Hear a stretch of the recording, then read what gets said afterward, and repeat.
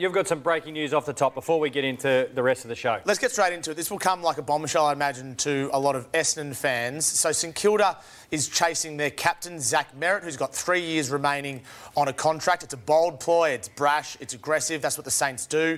Uh, there's no formal contract offer yet, Jimmy, but there is an acknowledgement uh, that's been made from the Saints to the Merrett camp that they would be prepared to offer a Godfather deal. I'm talking more than a million dollars a year. He's not on a million dollars a year at the moment, and a long-term arrangement. Now, there's no certainty that Merrett would even look at it. There's no certainty that Essendon would even look at it either. In fact, I'd imagine Essendon would have the same response as what Melbourne had with Christian Petracca. But the obvious retort to this is, well, of course St Kilda's interested in Zach Merrett. They're interested in Marcus Bontempelli and Paddy Cripps and every single other player. What I can tell you is that the discussions between the Merrett camp and St Kilda have become more advanced than they would otherwise be for just any other player. So that's where it is tonight. I can't imagine him leaving, but I thought that before in the past, so it's very much a watch this space. So just putting a bow tie on that, it's more than an inquiry, it's advanced discussions. Uh, it's not advanced discussions, okay. they're more advanced than what they other, otherwise would be. But again, no formal contract offer yet. The Merrett camp is aware of St Kilda's interest in bringing him in. So that's absolutely one to watch. We'll talk about Dustin Martin with you a little bit later on, Lee. But let's get to the games of the weekend. And there were two absolute belters. Uh, the first one in Adelaide on Friday night where Port overcame Hawthorn by three points. Interestingly, Port v Hawthorn, they played, they played against each other in three finals. Every single result has been by three points in 01, 2014, and then on the weekend. And then the Brisbane Lions, Lee, your Brisbane Lions uh, got the job done against the Giants. And that where that's where it's at at the moment, Lee. Uh, what do you make of uh, what you see in terms of the prelims to come and what we saw on the weekend? Well, I think going into the uh, the finals, we always thought uh, Carlton sort of limped in a bit, but the top seven all looked like they were pretty good teams. So the fact is, we got to a final four, and one of the the Lions obviously finished outside the top four, but are, are there for preliminary final. So very even. I think every team has got a really good chance because there was not much between the bunch of those teams when we uh, finish the home and away series. And Geelong and Sydney, Brisbane and Port, uh, do you think they're the best four teams in it? I mean, we'll talk about the Giants' missed opportunity in a bit, but very hard to argue against at least the two home teams there, Jimmy. Well, the top four, uh, well, the top four, the preliminary finals are the best four in it because they're the ones who have been able to sustain uh, their seasons, get themselves in a good position. Brisbane uh, coming from outside the top four, we always thought at the start of the year they were a top four quality side. They're mature, they're experienced. They've been at this pointy end, I think, now four out of the last five years.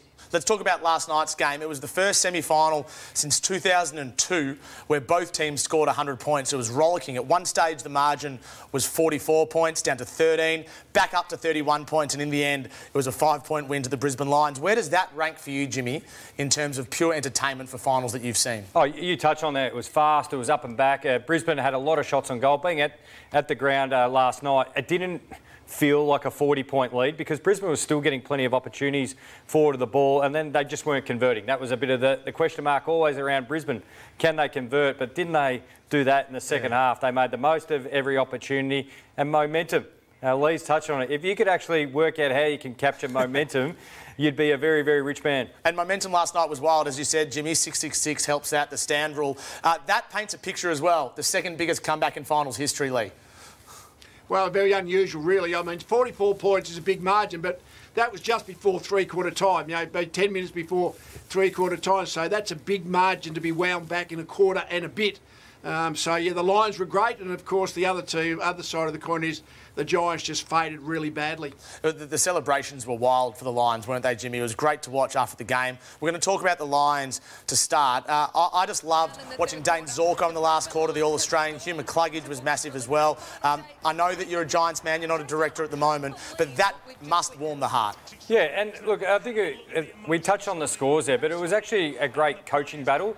I think in the first half, uh, what Adam Kingsley was doing around stoppages, uh, how he was trying to get his run with roles with Peatling, and uh, of course Bedford on there, uh, Zorko and Neale, and then they'll bring in the extra up. And then I think what the Lions did, their ability to adjust and then also some big players stepped up in big moments. Yeah, and some of those players were veterans. Joe Daniher was one of them, Lee. Uh, you spoke about him a couple of weeks ago. Before you have your thoughts on last night, this was Lee Matthews a fortnight ago, pumping up Joe Daniher's tyres when perhaps um, some other commentators in the media were going the other way. So that's what you'd be saying to Joe Daniher. Joe, we'll wear your odd mistake. You'll, you make a bad decision every now and again because he's an instinctive player. And but if he gets scared of making mistakes, and I heard people critiquing the coach as he hasn't been coached hard enough. Well, if you keep talking about what he's not good at, he'll lose confidence in himself. So last night, Lee, we saw the worst of him early and the very best of him late, and they wouldn't have won without him. He made his few mistakes, no doubt about that. But uh, what he does to him is he, he, plays well in finals, and he's got a his conversion accuracy is much better in finals than it is in home and away series. So the uh, the pressure doesn't seem to phase him. So we see a few of these. Gave away a free kick. A couple of times where really you think, Joe, you, should you really run past for a hand pass in that situation? Kicked it out of bounds on the full. But when you get to uh, a couple of clutch kicks uh, late in the game, I mean, this is on the boundary line, just straight as a die. That puts the Lions, I think, a point behind. And then he takes this really good, strong, contested mark against Sam Taylor and goes back and again splits the middle. So those two kicks were beautiful off the boot. Um, so, uh, yeah, no, Joe had the, uh, had the, the clutch goals, four goals won on the night, but the clutch goals so, so valuable. And that, that big contest that got that final one, which was the match winner, that was the only second time this year Sam Taylor's been beaten in a one-on-one contest. And what a what a time for the Brisbane Lions. And I like to call it, Lee, you've heard me say this on radio when we work together. With Joe Daniher, it's the full Joe Daniher experience. Just strap yourself in because the good will be something really special like we saw towards the end of the game. But the not so good can be quite entertaining for the impartial fan. And that's why you pay the big forward. Sorry, Lee, go ahead. Yeah, no, I was, I hmm. was saying the, the thing is about him though, the pressure of finals doesn't seem to phase him. Now he made a couple of mistakes early in the game, yeah, last last night. But as I said about his goal scoring accuracy, he does it better in finals than he does in home and away games. So all that means is when the pressure is at its highest, you know, he was good in the grand final last year. He plays well in finals. That's a, a really good sign. And maybe it's because he doesn't really take much notice of the footy world. He lives two hours away from the club. Um, he doesn't have a TV in his house, I read today. So he doesn't take any notice of the external noise. And when uh, push comes to shove, he plays some amazing footy. Chris Fagan, I love this last night, post game. Let's have a listen to the Brisbane Lions coach. I was happy for Harris to keep doing what he was doing. Um, and to be honest with you, I'm a coach who trusts my players. I've, I've done that since the day I arrived, and I think that can take you far. Um, and the times to trust them sometimes when they're not going all that well. Um, that's probably the time to do it. So, you know, hopefully Jack's learned a good lesson tonight and he'll be a better player for the experience that he had tonight next week. Well, Jesse Hogan was outstanding, and Jack Payne happened to be his opponent, but he certainly was terrific, uh, Hogan. And you thought, well, would they put Harris Andrews on him? But could Harris Andrews have actually defended him any better than Jack Payne did? That's the question. And I really love the fact that, uh, as Chris uh, Fagan said outright, he prioritises perseverance over constant change. And therefore, he backs his players in. Every now and again, that's going to blow up in your face. But I think I agree with him. I think gives them confidence. Most it'll work for you. It was a breathtaking last 40 minutes for the Lions, kicking 11 goals, three, uh, four goals, 12 before that. The old Lions, then into the new Lions, and you need some heroes. And we just put down the bottom. There's some heroes for the Lions, and the one that jumps out at me is Ashcroft. Some of his moments, there was a passage of play where the, the ball was dribbling in dispute, and he just relentless, kept going after it, kept going after it, breaking tackles. I think I counted six giants. He either fought off from a tackle or beat in the one-on-one -on -one contest. Berry was rock solid. Dunkley always kept showing up. But the Zorko one was fascinating. I think his battle with Peatling, I think Peatling had him under wraps, kicking goals. But he pushed himself up, in the ground and had his big moments. Two goals, nine touches. And Lee touched on Joe Daniher. And you could even throw in Kel Archie when the game was really hot and the Lions were under the pump. He was a match-up nightmare for the Giants. Yeah, and th that top name there, Will Ashcroft, 11 weeks, I think it's 11 weeks yeah. after returning from an ACL. He's had a remarkable couple of months, and his performance last night was amazing. Uh, was amazing. Now, uh, some news on Lachie Neale. He returned to Brisbane today. He was in a moon boot. The Nine News cameras uh, took him here. But the, Lachie Neale is such an important player for them, but he's been struggling for a while, Jimmy, with his foot injury. Uh, Chris Fagan said after the game that he's uh, not training early in the week too much. You'd expect him to be okay, but it is somewhat of a concern. Yeah, I think the moon boot scares a lot of people, but uh, clubs are, are, probably more readily grabbing out the moon boot as soon as there's a foot, ankle, lower leg injury. Take all the pressure and weight off. If they're managing him through the week, uh, they've got to manage him for their sake two more weeks. All right, we go from the very good to the very bad. The Heat this week and all summer will be on the GWS Giants, Adam Kingsley, their leadership group, and their players. This one would really sting. Straight sets. Lee, Jimmy, I want to get your thoughts. Before we do, this was their coach, Adam Kingsley, post game. It would appear we haven't yet learnt that lesson to um, to still be proactive, to execute the system as best as we can, to, to remain aggressive, um, to be aware of the opposition when they do roll the dice a little bit and roll forward, as you do in those moments. Um, to be to be safe and strong in contest and, and win the ball. We, we're just not uh, we're not the finished product yet, and I've been saying that all year. Well, clearly they're not the finished product, Lee, but pre season, Adam Kingsley and the Giants were telling everyone that they were all going to be about speed and also endurance and running. Over the summer, they did more running than they've ever done before. And at the most critical moment of the season, when they needed to run and they needed to play with flair and see two games out, they failed, and that would really hurt them. Well, they looked like a pretty good product when they were 44 uh, points in front uh, late in the third quarter. But they've had two games where they've faded badly. And, and I think there can be a phys- physical and mental part of that. But I thought early in the last quarter last night, when they were four goals in front still, they sort of wanted to kick. They kicked the ball across their half back line a couple of times. And I, it's kind of like, okay, we're now in lead protection mode. When really the teams that come from behind usually are able to overtake the leader because they stop scoring. And that's exactly what happened last night. And of course, last week against the Swans, where they've stopped scoring. And I just wonder whether they went into the league protection mode, started to play slowly, got the, a nest the run disappeared from their game. Yeah, Lee, I think it's more mental, and reputations can be built. We, we learnt the reputation of Collingwood when they won the grand final. You can come back from nowhere. So the opposition starts to think, well, Collingwood are never had it. The Giants next year have got to actually build a reputation back that they won't crack because the Swans cracked them yep. in the last quarter and the Lions cracked them in the last 40 minutes. So we just uh, highlight uh, throughout the year that, you know, where the Giants are falling down. So what I think, Lee and Tom, is finals expose your warts. So whatever you've been doing really bad or poorly during the year, it just gets amplified against the best sides and under pressure. And these are the numbers we've been highlighting all year. And you had to look at those numbers beforehand, how the Swans and the Lions got a hold of the Giants. It's this transition game up and back, up and back, decision making, key moments, which we touched on the Swans. And we grabbed a few out here. McCluggage is the one to watch. He is in the back pocket. He's kicked that with his left foot. And you watch the amount of Lions repeat efforts. Keep an eye on Rayner too, number 16 coming through the middle of the ground. Repeat efforts. And this is from back 50 to forward 50. Only North Melbourne and Richmond conceded more inside 50s than the Giants, so 17th and 18th. So when you get to the big moment, it's a hard time to correct all those poor stats from 23, 24 weeks the opposition just exposes them. So we, we had another one there. This is still playing out, so we haven't had time to come away. McCluggage again, yeah. he's already at the other end. Kicking, he just missed a brilliant goal, but this whole transition, that's poor manning up there from Whitfield. Berry off the back, again half back, and look at the look to the big key moment here where Joe Daniher wins that one-on-one against Sam Taylor. Look at the space yeah. for Big Joe. He only has to just shrug off Taylor, and he's got too much height and that led to the match winner. Lee, as a coach, how do you deal with this over the next six months? Oh, well, as I say, I think they've played enough good footy. Yes, they've faded badly in a couple of games that really count uh, the last couple of weeks, but they, they restricted the Lions to only nine inside 50 marks. So they had 50, 30 shots at goal, 15 15, 30 shots at goal, the Lions, but only nine of them for marks. I think one of their vulnerabilities is the ground level defence. Like the, it was the Lions ground level players that kicked them the score. I mean, Joe Daniher took that la- that last contested mark obviously and kicked the goal, but mostly it was the ground level Lions players that actually just made made the Geelong uh, sorry the uh, the Giants ground level defence just look a bit shaky.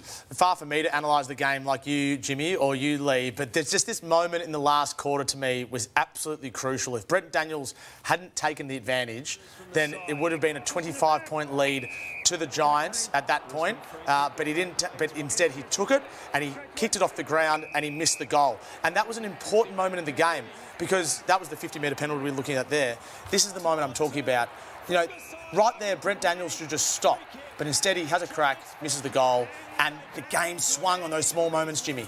Yeah, well, and this is what I've been reiterating throughout the year. It's moments, it's decision making, it's footy IQ, it's keeping you calm in the heat, as Lee touched on with Joe Daniher, He seems to be pretty calm in the big moments, and that's what finals are about. Yep. Uh, the window, Jimmy, the Giants have played finals in seven of their last eight years. They're widely seen as one of the most credentialed lists in the AFL, yet they haven't won a flag yet, and they had such an amazing draft bounty. Toby Green, Jeremy Cameron, who's now gone, Nick Haynes, who's probably going to go as well. We'll talk about him later on.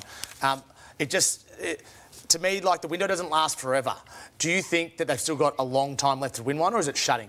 No, I don't think it, it's shutting. They've still got a lot of talent on that list. They've got some draftees coming through, and like all clubs who try to stay up, you've got to have development, recruiting, everything in your football department all aligned and a well-oiled machine. I think they've got something pretty good up there. Yeah, I do as well, mm. but they'd be wanting to play a prelim or a grand final Correct. next year. Straight sets is no good for them. I think in the last quarter, across the last two games of this season, they were down 57 points. You're watching Footy Furnace, and the news tonight is that Ken Hinkley and Port Adelaide, more specifically, have, fi- have been fined $20,000 under the AFL's Rule 2.3A, conduct unbecoming.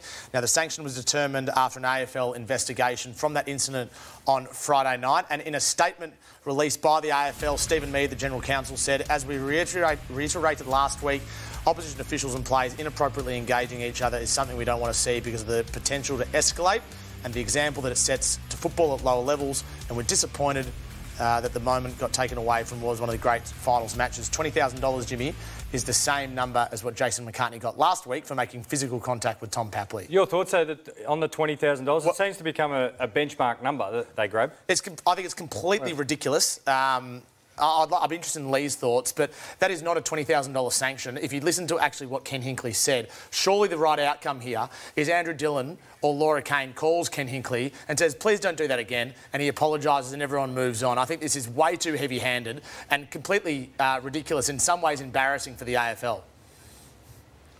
It's interesting, Tom. I, I agree with that, that it sounds a lot, but I'm also okay with the zero tolerance aspect of it, and we've got to remind ourselves – the Giants pay the $20,000 and Port Adelaide mm. pay the $20,000. So the individuals aren't being fined. So we're very, it's like it's just money going around the circle within within the AFL, like the AFL system. But I would have thought that almost everybody who's been involved in it would probably regret it. I think Ginnivan would regret the fact that he tweeted it. Ken would regret the fact that he actually did that after the game. Uh, James Sicily, well, he didn't do much wrong, but maybe he'd even regret that he was a, you know, a little bit aggressive there. And even Sam Mitchell, in his uh, in his post-match press conference was pretty pretty pretty harsh. And I think most of them would think, in the in the clear light of day, maybe we all overreacted. Yeah. I, I just think we sanitised the game so much, Jimmy. Like, I've got no in, no issue with what Ginnivan did on social media. I, what Hinkley did, I don't think it's the end of the world either. I just think we don't want to take the personalities out of the game, and I think slowly but surely we are. It's important to set the right example, but it didn't escalate. He didn't swear at the Hawks. He didn't say anything overtly abusive or aggressive in a way that offended anyone. I think it's a gross overreaction. It was great theatre or great yeah. telly, as they say. You couldn't get your eyes off the TV screen, but everyone seemed to forget about the two hours beforehand, and we had a cracking game, and you highlighted another three-point result in a final between Port Adelaide and Hawthorn. So how did Port Adelaide turn it around in seven to eight days? Well, they got them back in a day early. They reviewed it pretty hard, and they you know, stripped it right back. And for me, Tom, it came back to the fundamentals and core and pressure. And the pressure rating, and as we called it, it's the hot dog of stats. I'm not sure what quite goes into it, but it sounds pretty cool, Lee. But this is what stood out to me, especially in the first quarter, and what pressure does. This is forcing the quick kick long down the line. Now, this gives your defenders an opportunity to defend. This was completely lacking against the Cats. We saw the Cats run and chain the footy away, but look at all these defenders are able to peel off. But I love this from Jones. I thought he played a really good game, not a huge stats game, but you get the intercept, and look at this, how brave you are. First quarter, four minutes to go, whack. Have that Horne-Francis. That it completely undoes your zone. Again, pressure. Darcy Byrne-Jones mightn't seem like much. And look at that, Aliir up the back of his direct opponent, which means you can spoil and have impact. The pressure here again. Rioli, forwards, just force something. Good things come off the back of that. And that's finals footy. And probably the biggest moment the place erupted with this tackle from DBJ. Yeah. It was enormous, like it absolutely exploded. So from start to finish, the pressure, it gives you opportunities, but it forces those long kicks down the line. We look at some of the stats uh, on there and the uncontested marks. Because you got that pressure and then you cut out the releases, you force the long down the line, and that's all defenders are asking for, an opportunity with a long, slow ball in. That's great analysis, Jimmy. Ken Hinkley must feel vindicated here, Lee, after a tough week. Well, I don't know about vindicated. What he did is he got his players up. I mean, they were horrible against Geelong. 84 points. They were terrible.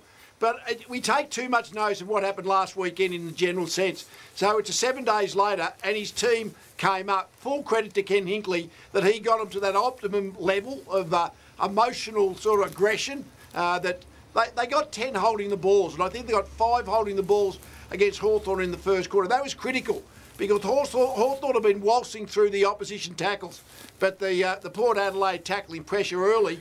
By, by late in the first quarter, the Hawthorn were second guessing themselves, and Port uh, were on top. Lee, and talking of aggression, everyone loves it when the big banana in the middle starts it off. Jordon Sweet, he, he led the aggression for Port Adelaide.